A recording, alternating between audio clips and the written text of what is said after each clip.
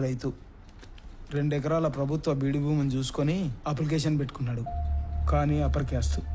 అతనికి ఆ భూమి ఇవ్వలేమని చెప్పినా కూడా ఆఫీస్ చుట్టూ తిరుగుతూనే ఉన్నాడు సార్. ఇప్పుడు కూడా మీతో గోడు చెప్పుకుంటానని నా ప్రాణం దూడేస్తున్నాడు సార్. అయ్యా. రైతు తన పది వేళ్ళు మట్టిలో పెడితే గాని మన ఐదు వేళ్ళు నోట్లోకి వెళ్ళావు. అడంగల్ పదమూడో కాలంలో అతను పేరు రాసి తీసుకునిరా నేను సంతకం పెడతాను. గవర్నమెంట్ కోర్టుకు వెళ్తుంది. అది కోర్టులో తేలే లోపు నేను రిటైర్ కూడా అవుతాను. ఈ లోపు రైతు వ్యవసాయం చేసుకుంటాడు. అయ్యా చచ్చేలోపు ఒక సెంటు భూమి కన్నా ఆసామిని అవుదాం అనుకున్నానయ్యా.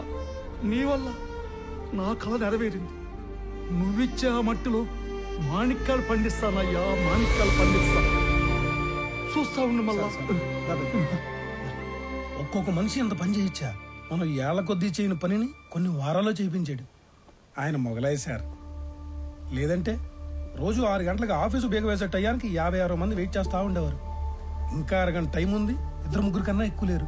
ఆయన ఏదో మాయ చేశాడు సార్. పెద్ద మాయ చేశారా మనం ఎంతో మంది దగ్గర పనిచేసాం కాలం నీడలో వాళ్ళందరినీ మర్చిపోయాం. కానీ ఇతని నీడలో కాలాన్నే మర్చిపోయాం.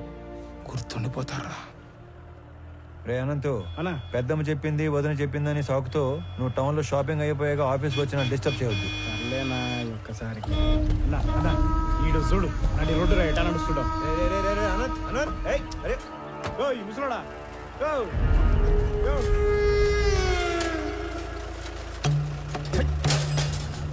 చూడనంత గట్టిగా మూసేది ఏయ్, వెనకొచ్చే ఏయ్. ఎట్లా తెలుస్తాయి? ఆ? వెనకొచ్చేటి బండు తొక్కితే పైకి పోతావు. సంపుతా నా కొడక. నీ దూకుడేదిరా? పెద్ద పట్టుకొని.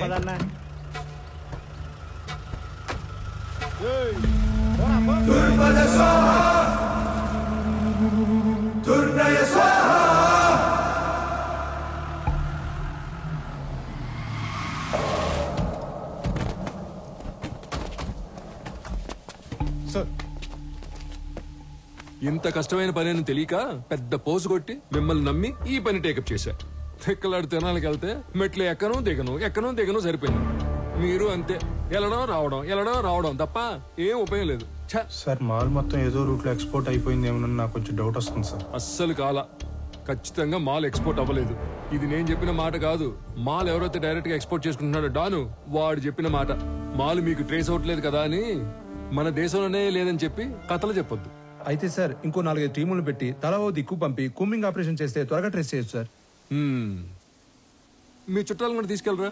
నువ్వెవరో సామి నా కొంప ముంచెట్టున్నావు ఎట్ట అంటే హడావుడి లేకుండా వెతకాలి. గవర్నమెంట్కి ఏమాత్రం ఒప్పందినా చాలా డేంజర్. ఇన్ని వందల కోట్ల ఎర్రచందనం ఒకేసారి దొరికితే దేశం ఉలిక్కి పడుద్ది కలపకి కాపలా కూడా పెరిగిద్ది. ఓకే దీంట్లో ఏది జరిగినా నన్ను లేపేస్తారు. సైలెంట్ గానే ఎతకండి కానీ కొంచెం స్పీడ్ పెంచండి. Sir.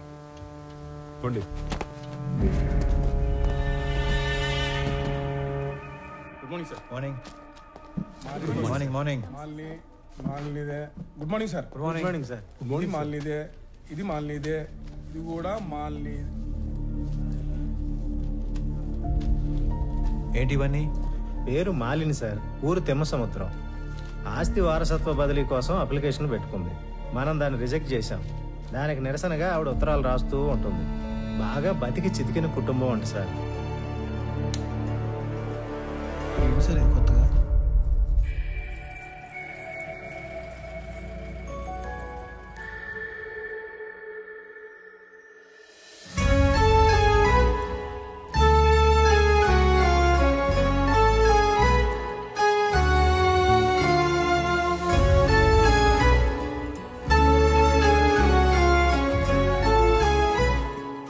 రామా?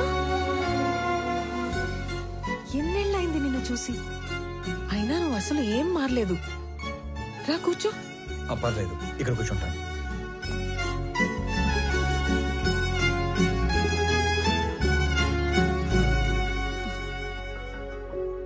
నీ పేరేంటి తల్లి?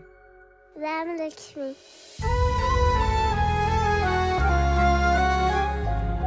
ఇప్పుడే వస్తాను.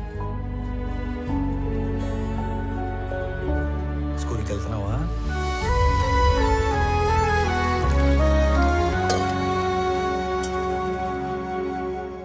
గుడ్ గర్ల్ తీసుకో రామా. ఇప్పుడు చెప్పు మన ఊరికి ఎప్పుడు వచ్చావు? నీకు ఒక్కడే కొడుకు కదా? బుడ్డోడు ఎలా ఉన్నాడు? ఏంటి ఏం మాట్లాడావు?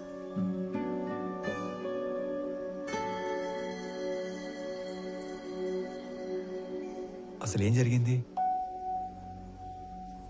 రామా నువ్వు వెళ్ళి ఆడుకో తల్లి.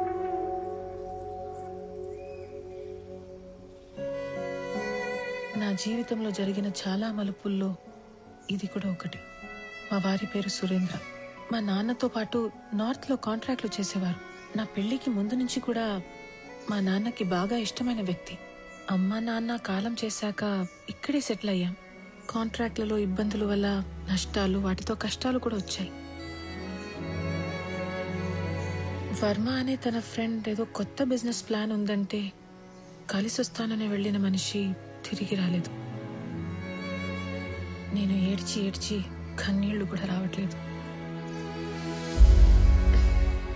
అవును ఇవి నీ చేతికి ఎలా వచ్చాయి? కొన్ని రోజుల క్రితమే డిప్యూటీ కలెక్టర్గా ఇక్కడికి ట్రాన్స్ఫర్ అయ్యి వచ్చాను. అవునా? ఇంట్లో ఇంకెవరు లేరా? మా ఆయన్ని వెతుకుతూ రోడ్ యాక్సిడెంట్లో మా మామగారు కూడా పోయారు. ఇవన్నీ చాలా ఉన్నట్టు సురేంద్ర ఉన్నంత కాలం పలకరింపుకి వచ్చే అతని పార్ట్నర్స్ కూడా ఇప్పుడు డబ్బు కోసం బెదిరింపులకి వస్తున్నారు.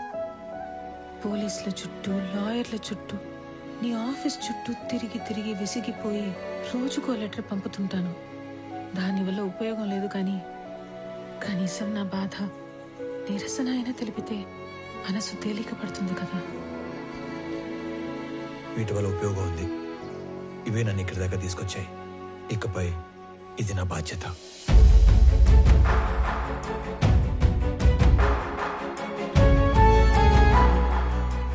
వల్ల ప్రేమలో ఓడిపోయిన ఆ బాధని లోపలే దిగమింగుకొని చిరునవ్వుతో వెళ్ళిన రామ నాకు దూరమయ్యి దాదాపు ఏడు సంవత్సరాలయ్యింది. దిక్కుతోచని పరిస్థితుల్లో ఉన్న నన్ను వెతుక్కునొచ్చి భరోసా ఇచ్చి వెళ్తున్న రామాని చూస్తుంటే చాలా జ్ఞాపకాలు గుర్తుకొస్తున్నాయి. రామారావు ఆ పేరు వినగానే గుడిలో గంట శబ్దం విన్నంత భరోసా వస్తుంది. రామారావు ఎస్పీఎల్గా ఉన్న మా స్కూల్లో ఆడపిల్లలందరం శివంగుల్లా బ్రతికేవాళ్ళం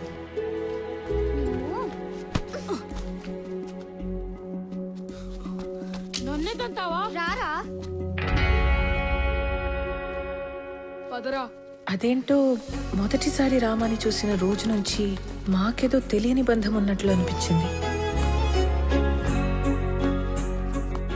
రే అనంతు చీమల్ని ఎందుకు చంపుతాండవరా? మాస్టర్ పాట మొదలు పెట్టినారు లోపలి పో. కాలక్రమేణా మా అనే మాట పోయి మన అనే భావనతోనే బ్రతికేశాం హిందీ లాంగ్వేజ్ అంటే ఏంటి? జాతీయ భాష. National language. మీకు తెలుగు రాకపోయినా పర్వాలేదురా. హిందీ రాకపోతే మీరెవ్వరూ దేనికి పనికిరారు? సార్ మాతృభాషతో పాటు పరభాష నేర్చుకోవడం తప్పు కాదు సార్. ఓహో. కానీ మాతృభాషను హేళన చేయకూడదు సార్. హిందీ మన జాతీయ భాష కాదు సార్. అధికారిక భాష. ప్రతి విషయంలోనూ రామారావు శైలి చూసే విధానం ప్రత్యేకంగా ఉంటాయి. రోజులు గడిచే కొద్దీ మా వయసుతో పాటు మా మధ్య ప్రేమ కూడా పెరిగింది.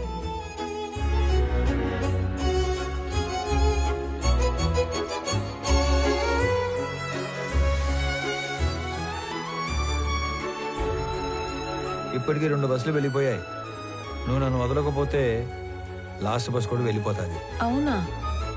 నీకు గవర్నమెంట్ జాబ్ అంటే నా అంత ఇష్టమని నువ్వు డిగ్రీ దాని తర్వాత జాబ్ ట్రైనింగ్ల కోసం నాలుగేళ్ళుగా టౌన్లోనే ఉంటున్నా ఓపిగ్గా సర్దుకున్నాను. ఇక నా వల్ల కాదు. ఆ జాబ్ ఏదో వెంటనే కొట్టేసి నా మెడలో తాళి కట్టి. నన్ను పెళ్ళి చేసుకోరామా ఒక నెలలో టెస్ట్ ఇంటర్వ్యూ అన్నీ అయిపోతాయి. ఆ తర్వాత నీ ఇష్టం ఓకే? ఎప్పుడు వస్తావు? వచ్చే నెల ఇరవై ఐదో తారీఖు. సరేనా?